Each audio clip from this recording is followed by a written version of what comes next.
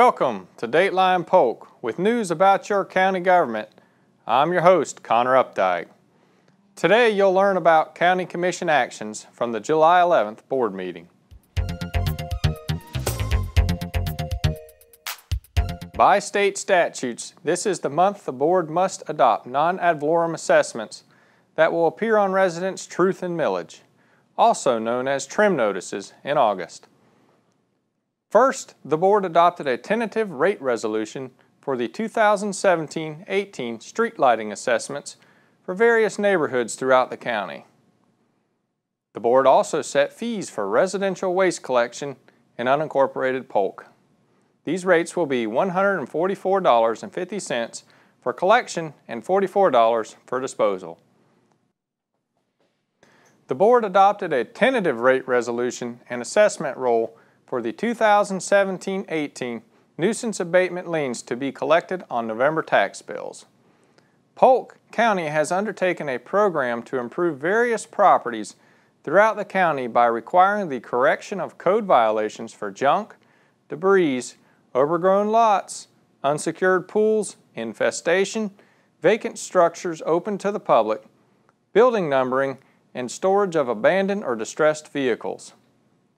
When not corrected by property owners, the county undertakes the abatement of the nuisance and may impose a lien on the properties where owners have failed or refuse to reimburse the county for costs incurred for improving the property. By adopting this resolution, the board is taking the next step required to collect the liens on the 2017-18 tax bills. Following the completion of improvements of water and wastewater infrastructure in the Skyview neighborhood of Lakeland, the board adopted a tentative rate resolution for Skyview residents in their Municipal Service Benefit Unit. This is the second year of the MSBU charge, which will last for 20 years. The board also adopted the tentative rate resolution for fire fee assessments for unincorporated Polk County. Rates will remain the same as the current fiscal year, with owners of a single-family residence paying a $191 fee, which is less than last year's $195 fee. The plats for Grove at Highland Meadows and the Reserve at Highland Meadows were accepted by the board for conditional approval. The board approved and ratified a subcontract revision with the Ounce of Prevention Fund of Florida and Healthy Families Florida. Currently in Polk County, more than 600 families are served through this program managed by Healthy Families. The program includes a home visitation program for high-risk families and promotes positive parenting, self-sufficiency, and healthy child development. Ultimately, the program aims to prevent child abuse and neglect. The program receives more than $1.3 million from a state grant, which is matched by Polk County with $327,250. The board also allocates an additional $715,872 for the program through the general fund. A resolution adopting the Housing and Neighborhood Development's Fiscal Year Action Plan also was approved during the Tuesday meeting. The program provides programs that benefit low and moderate income residents in Polk. In other news, the board recognized Country Boy Pest Control as a Polk County Company of Excellence. It was proclaimed July 2017 as Minority Mental Health Awareness Month. Antoinette Pollard, representing the Pieces to Peace Counseling, accepted the proclamation. Well, I am the lead counselor at Pieces to Peace Counseling. We offer a variety of counseling services far as individual, couples, and if anybody is experiencing anxiety, depression, any other counseling issues, we are able to assist them with that. And so today I received a proclamation in regards to National Minority Mental Health Awareness Month, just trying to help destigmatize the negative impact that minorities think about counseling. So just trying to put that into a more positive light and let them know that it is okay to reach out for services and that there are individuals in their community that are willing to help them. It was proclaimed July 2017 as Lakes Appreciation Month. Paul Thomas, representing the Lakes Education Action Drive, accepted the proclamation. Well, hi, I'm Paul Thomas. I'm representing Lakes Education Action Drive, LEAD, a nonprofit organization here in Polk County that promotes wise use of our lakes and aquatic resources. We do a lot of lake cleanup events throughout the year. You can find those scheduled at our website, lakeseducation.org. Today is our proclamation for the month of July, which is Lakes Appreciation Month.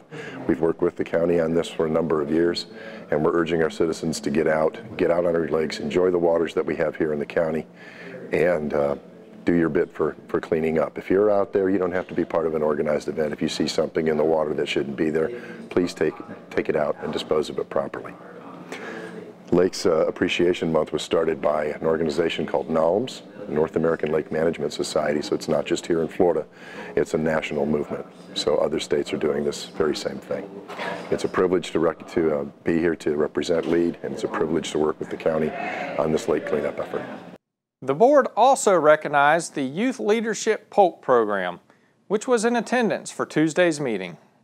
Polk Vision launched a pilot youth leadership Polk program designed to expose sixth and seventh graders to um, leadership positions and all the career opportunities available here in Polk County. We are exposing the girls of Girls Inc. Lakeland on um, different career opportunities as well as women who hold position of leadership and authority. This is a six-week program.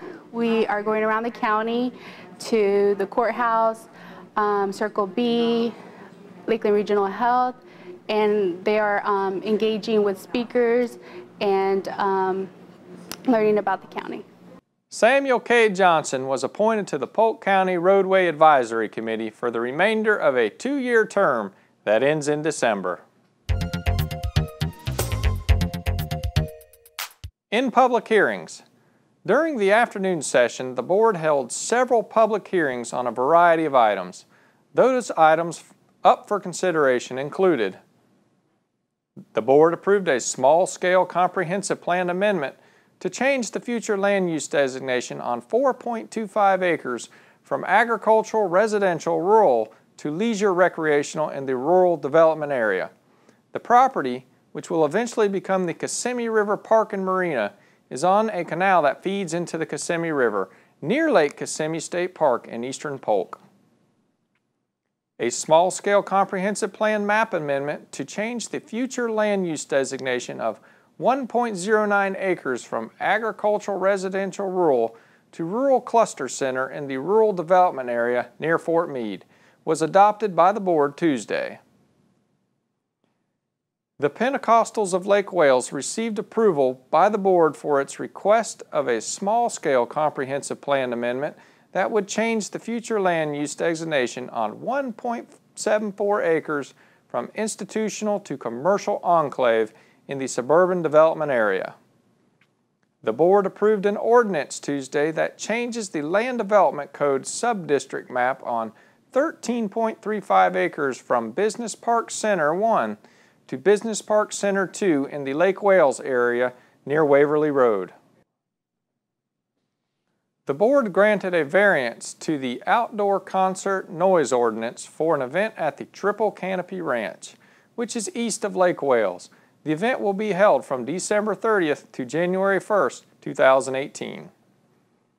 A Land Development Code text amendment to establish medical marijuana dispensaries as a conditionally permitted use in specific land use districts was approved. Well, that wraps up this edition of Dateline Polk. To keep current with programs and progress in the county, visit us online at polk-county.net or follow us on Facebook and Twitter. We encourage you to join us at the next scheduled board meeting at 9 a.m. Tuesday, July 25th. I'm Connor Updike. Thanks for watching.